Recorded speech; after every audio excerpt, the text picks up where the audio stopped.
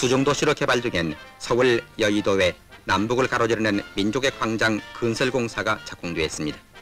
총면적 11만 천평의 이 민족의 광장은 서울운동장 각 경기장을 모두 합친 면적보다 3배도 더 되는데 오는 8월 10일에 완공되면 55만 명을 수용하게 됩니다.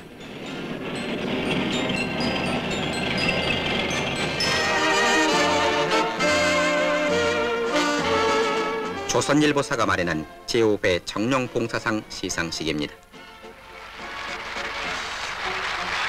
이상홍 경위 등 7명의 수상자들은 상패와 트로피, 봉사메달을 각각 받고 내조에 공이 큰 수상자 부인들은 상금 10만원씩을 받았는데 이들 수상자들은 자기 사명에 충실하고 나가 생명까지 버려가며 메마른 사회에 용기와 희망을 심어준 그야말로 숨은 일꾼들입니다. 모름지기 이런 숨은 봉사자들이 있는 한 우리 사회의 어두운 면이 밝은 면으로 바뀌어질 것이 기대됩니다.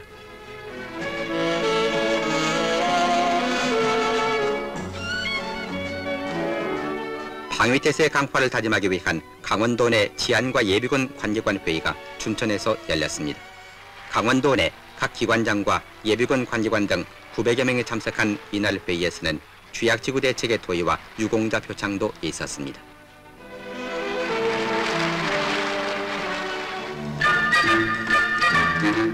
경상북도 대구에 새로 모자 보건센터가 건립되었습니다.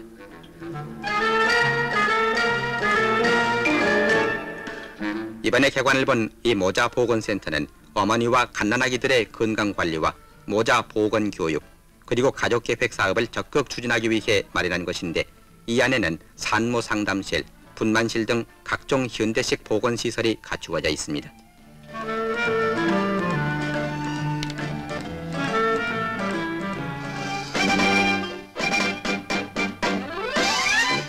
고구마로 만든 쌀이 나왔습니다.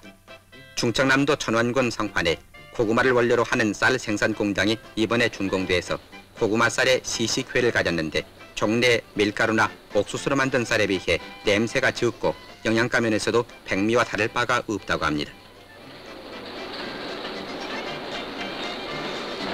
그런데 이 고구마 쌀은 대한농공과학연구소 김희경 박사의 연구로 성공을 본 것인데 이로써 고구마 저장의 고충이 덜어질 뿐만 아니라 쉽게 경작할 수 있는 고구마를 가지고 식량 작업 자독에 크게 이바지할 것으로 보입니다.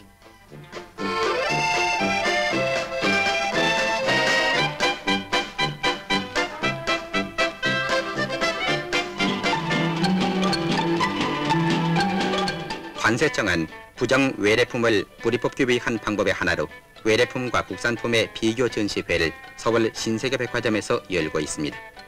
무턱대고 외래품만 즐겨 찾던 사람들 가운데 많은 사람들이 이 전시회를 통해서 국산품의 질적 향상을 새삼 깨닫게 됐는데 우리는 외래품을 사지도 말고 팔지도 마라 자립경제 건설에 이바지해야 되겠습니다.